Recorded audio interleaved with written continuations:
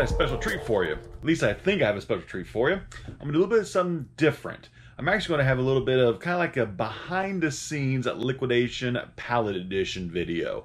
So once the pallets are actually done, they're broken down, and we've already separated like what's gonna go on eBay, what's going to be sold online, then we have a stack of stuff that won't be sold online. It'll be sold locally. So now is the time we had to go through and figure out how much are we going to sell it for locally. So now is when you go through and you kind of like figure out where it's going to go, which location will be sold at, because lots of times people sell locally at many different places, many like online selling apps. You could sell it at flea markets, you could sell at garage sales, whatever you wanted to.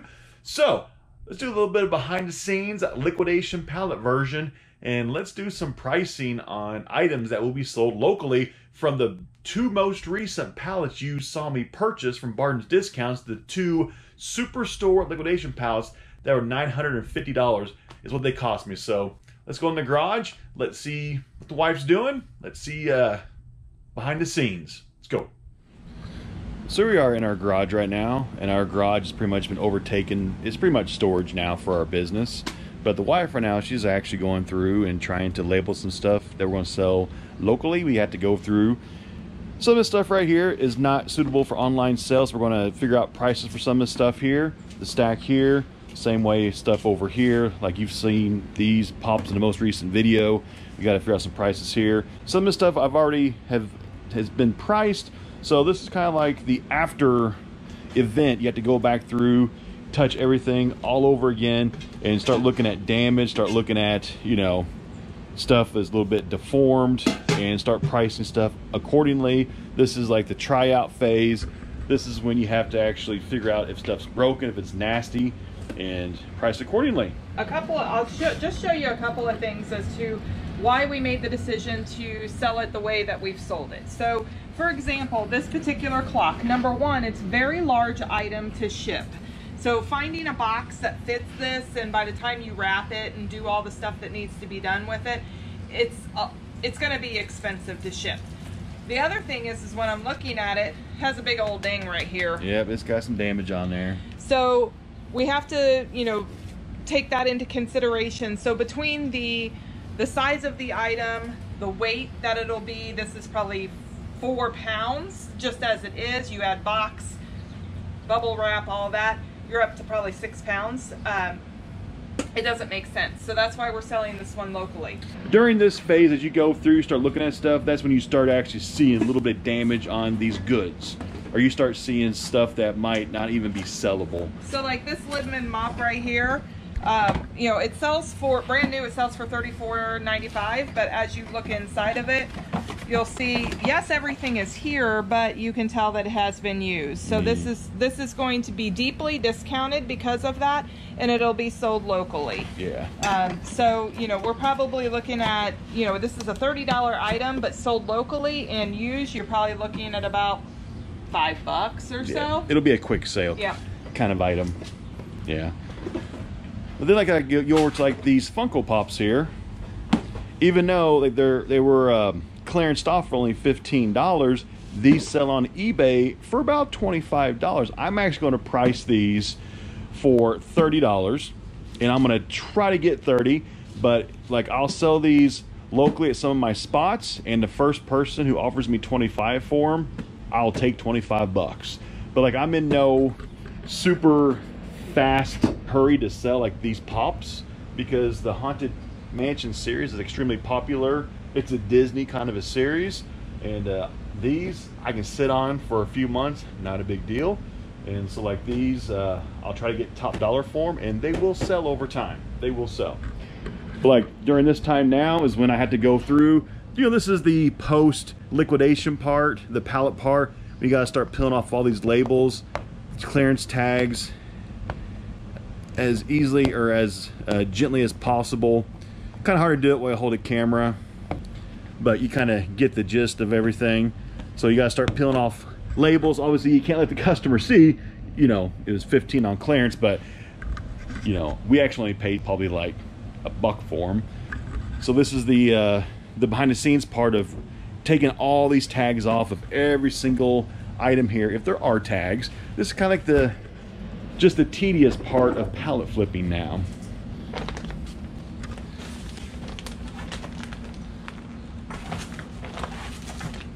So this is when you go through and you notice that things are a little loose. So this probably actually came in pieces originally and never returned this. Like it's still brand new. It's, you know, it has a little, little bit of, you know, box love to it. Some liquidation love, but you know, just a little bit, little turn the screwdriver or two here.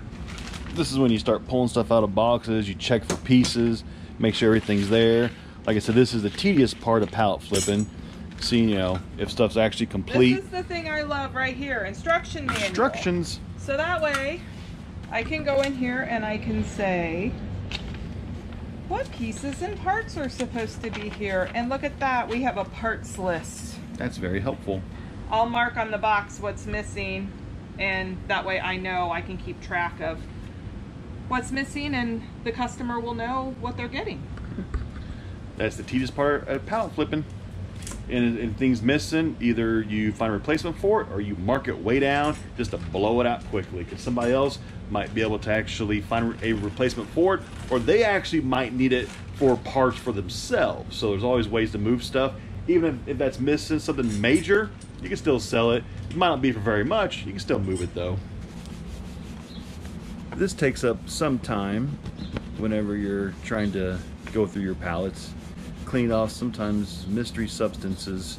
Sometimes it could be just like rust from uh, like the storage when it's being stored in the warehouses. It could just be like rust from the metal shelving sometimes, or like this could be. This is know, obviously something that's spilt down it. As you can see from the pattern that's on there. Like a liquid of something. It's coming off though. So you clean off that mystery substance, you can get you know, a few more bucks out of it. So it's always worth it to try to get off at least some of it.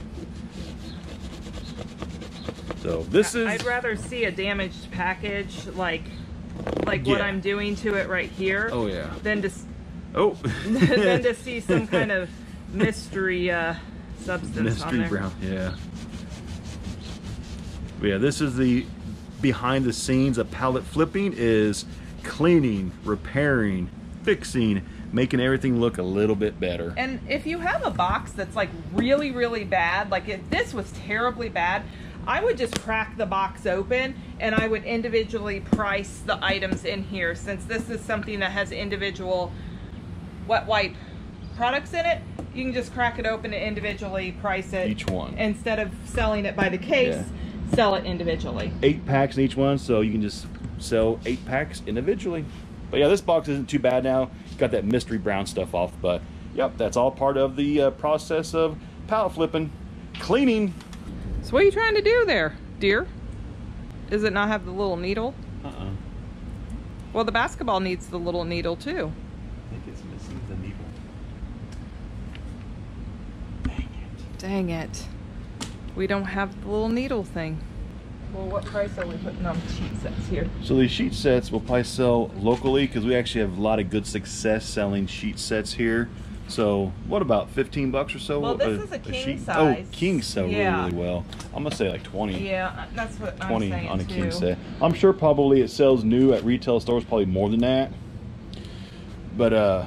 I mean, I'll look it up and make sure because I don't want to. Oh, I don't want to price ourselves out. Yeah, you know, you don't want to price it too low but uh, if we sell it locally, you know, we don't have to pay the eBay fee. So right there, we save 10% right there. So we always got to take that into account. So you got to drop the price a little bit, pass the savings on to the customer. So that's all the, like the difference you sell locally, you always give a better, at least our business model, we give a better deal to the customers locally because we save on eBay fees that way. Okay, so $24 brand new in the store. So for this, I would probably say, I mean, for us, I would probably say about 12 bucks on this. 12. Locally. About half half price then. Yeah. So yeah. because we do this half is price. A, this is a lower quality sheet set. Um, if it was like a, you know, thousand count sheet set, thread count sheet set, you know, the higher the thread count of sheet set, the more expensive. Mm-hmm. Because the higher the thread count is, the more luxurious feeling the softer um, the higher quality. It's going to last you longer. So that's what that's where you get into big money on the sheets is the higher thread The count. quality. If you didn't know that. Yeah. So we sold it like on eBay. You you probably ask 15 to 18 for. it. You probably could. But yeah, but locally, 12 bucks sounds good. That's half of what it would cost new. Pass the savings on to the buyer. We actually end up selling it for the same amount minus the eBay fee. So it all works out, and we got local customers who are happy. So and then we've got another one right here that's a queen. So I'm going to drop that down to about ten dollars Yeah. because we got a smaller size. 10 bucks. That's a good, good solid price. So we have a random shoe. One random shoe. and I still have a video to shoot of this liquidation. We have one box. So we're gonna hang on to the shoe One shoe. because it's new one shoe new. and it might be in the box that I am going to record in the near future. Yep. But Our if it favorite- is not, then it will be donated to uh, the blue trash can. We've got our favorite thing right here. My new swimming pool. It's a three. That would pool. so fit me right there. Because if you take two children out, I would fit. I would so fit in there. The water would probably spill over. Yes. Well, you can only put. you could only put like a nugget no, of water You, you could put water up to like right here, and, then, and then I get in, and it would it go right, right here. That is definite. That's awesome. That might be a keeper. Uh, Well, No, it's not a only, keeper. It's only five foot six inches in di- diameter, so you couldn't even lay flat in it. Well, I do fetal position. You would have to I do fetal because it's only five foot six inches, and you're almost six foot tall. fetal position. I used to be over six foot, but I shrunk. Well, that's what happens when you get old. Yes. you shrink Yeah. because you're old now. So give me a thumbs up down below if I should keep the swimming pool and take some Instagram photos in a fetal position in the pool. Would it be a good idea? Oh my God, no! Yes. Oh God, no! Yes. No! I'm like an Instagram model. Everybody's an Instagram model. All you have to do model. is take a picture and put yourself on Instagram, and I'm an Instagram model. I, but I am. Once I do the the uh, pool pictures, What What's your career? I'm an Instagram, Instagram model. model, while I'm fetal position in the baby pool. I mean, I could put. we could take a snapshot of this right here and put it on Instagram and be Instagram models. That was my vogue. Striking a pose. Yep. Oh boy. This is the the uh, what's what I'm thinking of? Happy days. Behind I the scenes know. of pallet flipping, this is what you do. Exactly what we're doing right now. This is what you do. You joke around, try to have fun because this is the tedious part. So have fun, if possible. If possible. If possible. So this is the part that goes pretty quickly usually. Get a box of all kinds of random stuff in here. And so basically what we're gonna do is we're gonna go through, Clint's gonna grab what's in the box, he's gonna tell me the price, I'm gonna price it, throw it in this box. So that way we can keep things moving. Um, we do separate things from dollar box items. So at our local location, we sell things in a dollar box. And um, so anything that's gonna be a dollar, we put in one specific box because we it's kind of like a dump bin where people love to dig through. Mhm. And I'll be honest, sometimes you can find treasures in there. Um, sometimes we price stuff cheap on purpose there, just so you can like dig and find like something that sells for like thirty bucks. You get it for a dollar. Yeah. Like that's kind of like what we're known for is you can find some treasures in the dollar box. I mean some treasures. you know, and sometimes it's things that we miss, sometimes it's things that just need an item replaced out of it. So sometimes it's on purpose. Yep.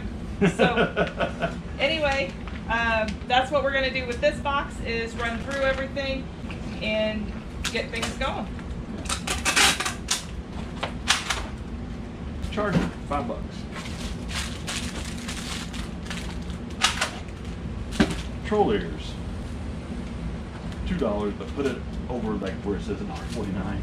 You want two dollars on this? One dollar. Brand new, mint colored, about five bucks. No, like a dollar. A dollar for brand new flip flops? That's a deal. These are the cheapest flip flops in the world. We're cutting people deals right here. Deals and steals. These are kind of nice. Two count photo frames. They sell new for three dollars. We'll do it for two.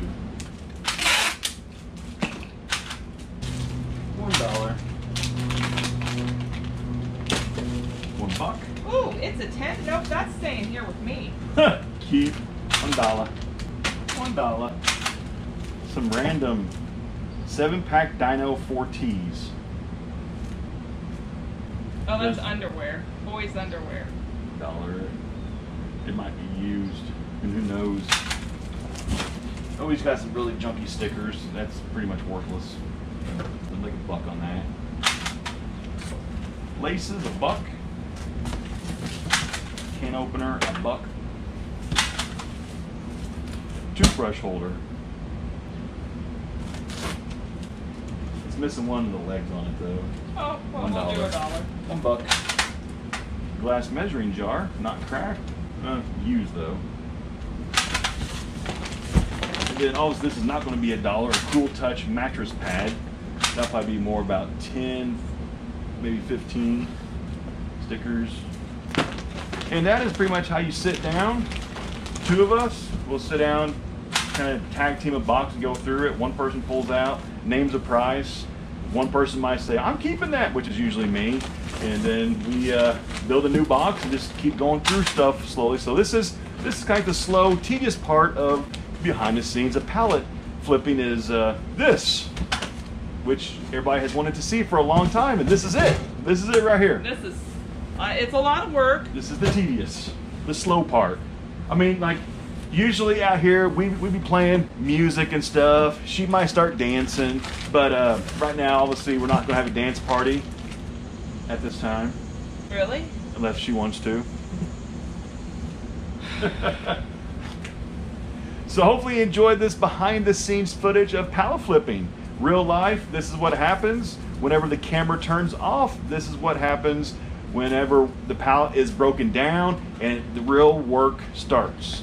And uh, So this is, the, well, this is the preparation for yeah, our the prep. local sale. for the local, yeah, she is correct. So that is that piece. Now, the part that we've already done is all of the eBay. The listings that go on eBay have already been taken in.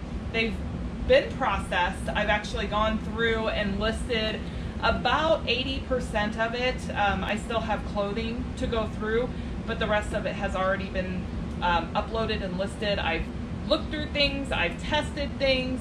A lot of the stuff was factory sealed or brand new, so that was kind of nice. And um, so, yeah, this is the prep to get into our local uh, sale. Yep. If you enjoyed this, you want to see some more behind the scenes footage, we'll do some more in the future. Just kind of show you the real life of a pallet flipper. See you next time.